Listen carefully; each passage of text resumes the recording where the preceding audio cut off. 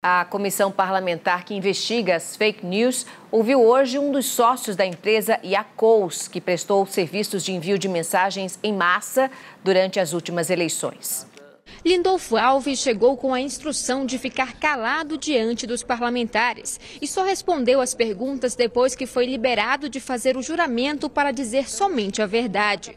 O executivo não autorizou a quebra de sigilo bancário e telefônico e também se negou a entregar a lista de empresas que contrataram o serviço nas eleições. Um dos motivos para a convocação dos proprietários da IACOS à CPI das fake news é a suspeita de que a empresa tenha disparado conteúdos falsos em massa para favorecer candidatos, inclusive usando dados fraudulentos e CPFs sem autorização de pessoas idosas e até mortas. O executivo afirmou que parte dos chips utilizados para ter acesso ao WhatsApp não precisava de CPF. Já sobre os chips comprados de terceiros, ele não respondeu.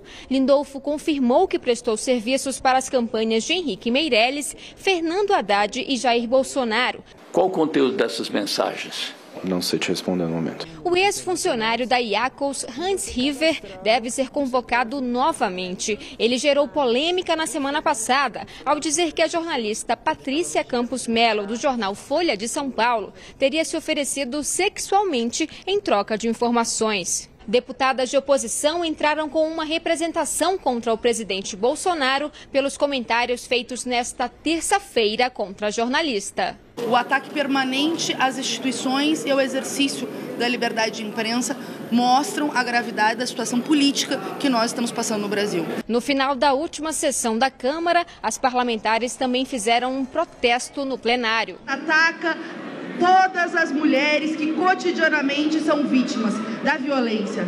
E o filho do presidente, deputado Eduardo Bolsonaro, rebateu. Isso aqui é a imposição do politicamente correto para tentar calar a boca do presidente Jair Bolsonaro.